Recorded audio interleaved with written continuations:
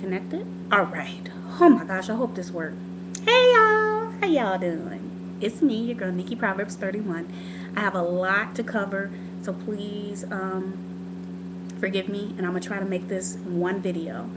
But first and foremost, I want to just thank God for allowing me to see another day. I just praise God for just all that He's done. He's my provider, He's my source, He's my healer, He's my deliverer, He's my strength, my strong tower, my shield and buckler, He's my everything. So I just have to praise God for that. And also, um, my heart and prayers go out to anyone who has family members or, you know, you're in Haiti or what have you. My prayers go out to you all.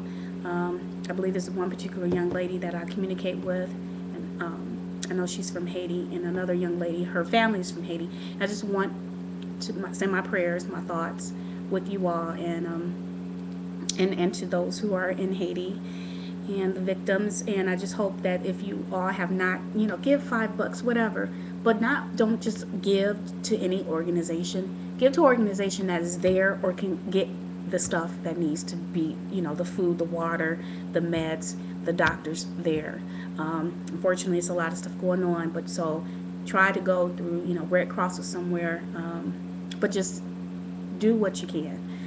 Um, with that being said I first, I'm trying to hurry up and do this video because um, I got a lot going on and I'm going out of town tomorrow. My grandmother is in the hospital. She has a blood clot in her leg. So if you all can keep her lifted up in prayer, please forgive me. I just want to say thank you, thank you, thank you, thank you, thank you from the bottom of my heart to every last person who left a comment, an email, called, or text message. Please know I am humbled by the love, the outpouring of love and support that you all have given me is beyond measure. Um, again, I apologize that I have not returned every, you know, replied to every message. I will. I promise you, I will do so. But no, I thank you from the bottom of my heart. A special thank you to um, Waiting for God's Miracle. Robin, girl, you just again, thank you again. And if you don't follow Waiting uh, for God's Miracle, check her out. Um, but she wrote a poem that just blessed my socks off and had me over here crying like a punk. I ain't lying, y'all. I was like, oh, this is so beautiful. Jesus, help me. It was, it was beautiful. Thank you, thank you, thank you, thank you, thank you, thank you. Okay. Um, I also want to clear something up because it may I don't know, maybe people are fast forwarding through my videos. And if you are, you know you dead wrong for that. I'm just kidding. If you know, I understand. But I, I do believe either they didn't understand or hear it or fast forwarded or whatever the situation was. But um, because I got a lot of comments like, um, you know, quit crying and get up and make some phone calls and you need to take this seriously and, you know, and I guess they thought I was so depressed I was going to, you know, slit my wrist or go and jump off a bridge or just run in the middle of the street and get hit by a car. I'm over here, you know, rocking myself like nobody knows the trouble I see. Nobody knows my sorrow. No, I was none of that. I'm serious. Seriously. I, I, when I got the information, I said, you know, at first, yes, my feelings was hurt. But after my feelings, you know, after I recovered, I was like, how dare how, dare? You must don't know what who I who I belong to. I've been bought and paid for by the blood of Jesus. I I said, okay. I went to the Heavenly Father. I said, Father, here are the fact. Uh, here are the facts that the doctors are saying. This is the doctor's report. But here, I know the truth. Your word is the truth, and I take your word over the, your word, which is the truth, over facts any day because the, the truth is by his stripes i am healed. I have been made whole. And god is able to do whatever he wants to do. He can recreate organs. He can reposition organs. He can do whatever he wants to do. Um, if we want to go through the ivf route he's gonna he, he will make a way out of no way. Because one thing god can't do is is lie. And he is not a respective person. I think somebody sent that message to me but that's something i always say to people anyway so. But um i just want you yeah, please understand that. Sister girlfriend over here is not. Mm-mm. I've been through too much to allow some foolishness uh, take me off the block. That's not even happening. So anyway, um, I met with, I went to my gynecologist the other day and basically told her I want to do a laparoscopy.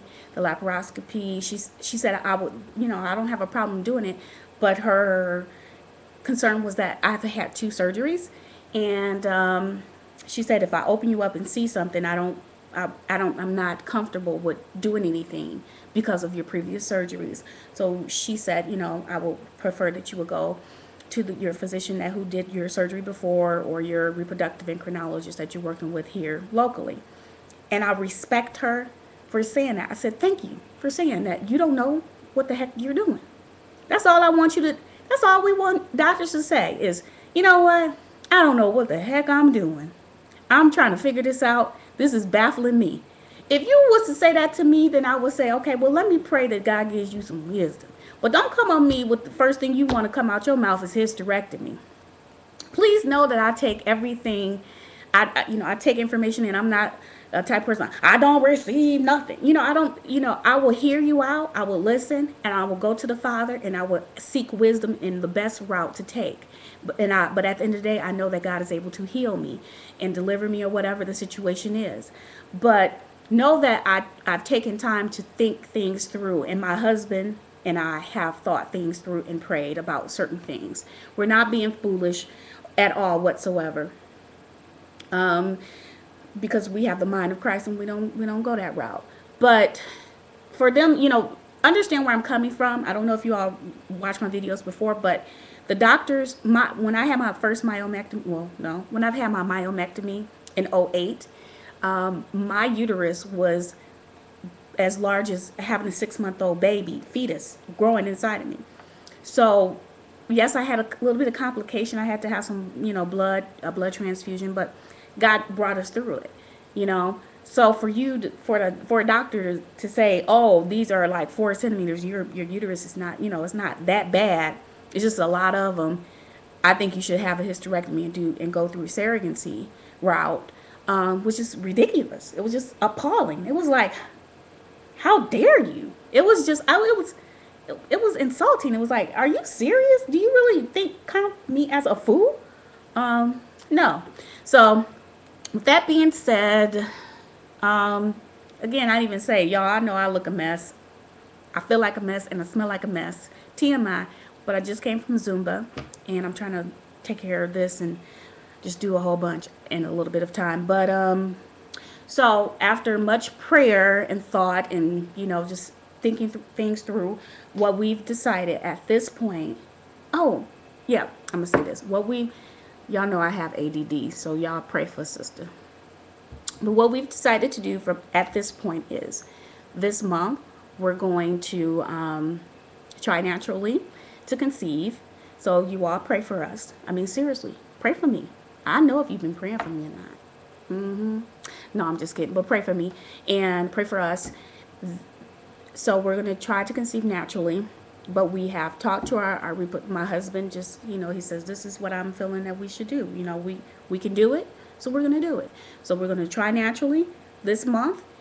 Um, if it doesn't work then we're going to we've already put our deposit to do another ivf cycle which will be in march. So god forbid we don't get pregnant naturally which i'm believing god that we will. But you know my husband said he wants to go you know have a plan so we're having a plan so we're going to do IVF in March if we don't get pregnant. I will call with my my next cycle um, if we, we don't have one. And uh, then I'll be on Lupron for a few weeks and then we'll go from there. So you all keep us in your prayers because remember we're paying out of pocket, that we have favor um, with these medications. Yeah, because this is no joke. But to God be the glory. Everything is going to work out fine. Again, uh, Robin, also, you said that you were going to adopt, and I'm so excited for you. Um, all about the twins. I'm excited about you. And I've, to I've told you don't be trying to, we, we don't punk out. There's no, no, we're going to stand for what we know. We're going to believe God and just allow God to do what he got to do. But I just want to say God bless you all in daily expectation. JW26, keep, girl, everything to work out just the way it is. God bless you. God bless you all. And um, I'll talk to you soon.